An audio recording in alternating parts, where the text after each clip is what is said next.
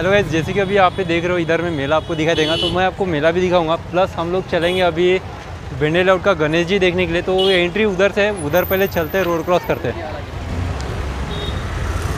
तो पहले हमें इधर से जाना होगा, यहाँ से एंट्री है। यहाँ पे बहुत ही बड़ा जो है मंडप डेकोरेशन आपको दिखाई देगा तो हम लोग इधर से चलते हैं एंट्री इसका एंट्रेंस गेट आप देख लीजिए कि किस तरीके से आपको दिखाई देगा।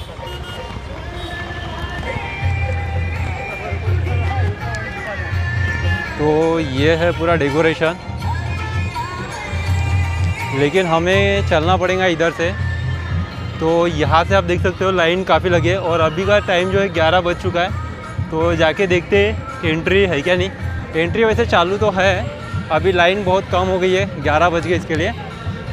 तो यहाँ पर जो है, चप्पल स्टैंड दिया हुआ है। यहाँ पे चप्पल स्टैंड आपको चप्पल निकालनी पड़ती है। उसके बाद में यहाँ पे लेडीज़ एंड जेंट्स अलग अलग लाइन लगी हुई तो हम लोग इस लाइन से चलेंगे।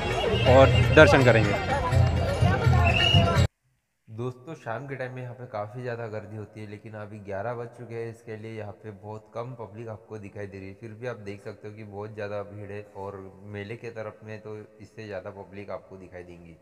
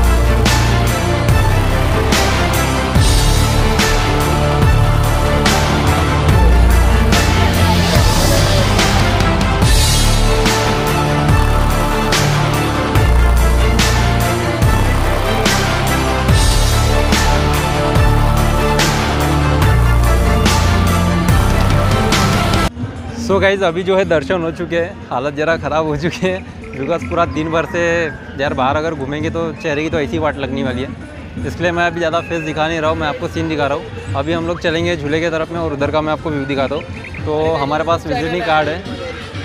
तो सर को हम अपना कार्ड दे देते हैं। चलेंगे इधर झूले की तरफ़ में, उधर का मैं आपको व्यू दिखाता हूँ। अभी रात के 11 बज चुके हैं, उसके बाद भी काफ़ी लोग यहाँ पर आ रहे हैं। इधर में देख सकते हो कि काफ़ी ज़्यादा गर्दी है, उधर से एंट्री है। और यहाँ से जो है एग्ज़िट है। तो हम लोग उधर अंदर चलते हैं और देखते हैं बाकी का व्यू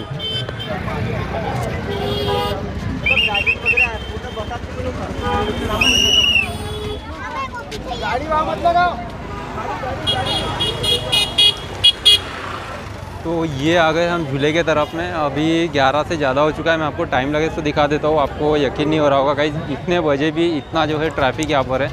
तो टाइम अभी फ़ोन में देख सकते हो ग्यारह अठारह हो चुका है और यहाँ पे जो टिकट है वो चालीस रुपये टिकट आपको दिखाई देंगे।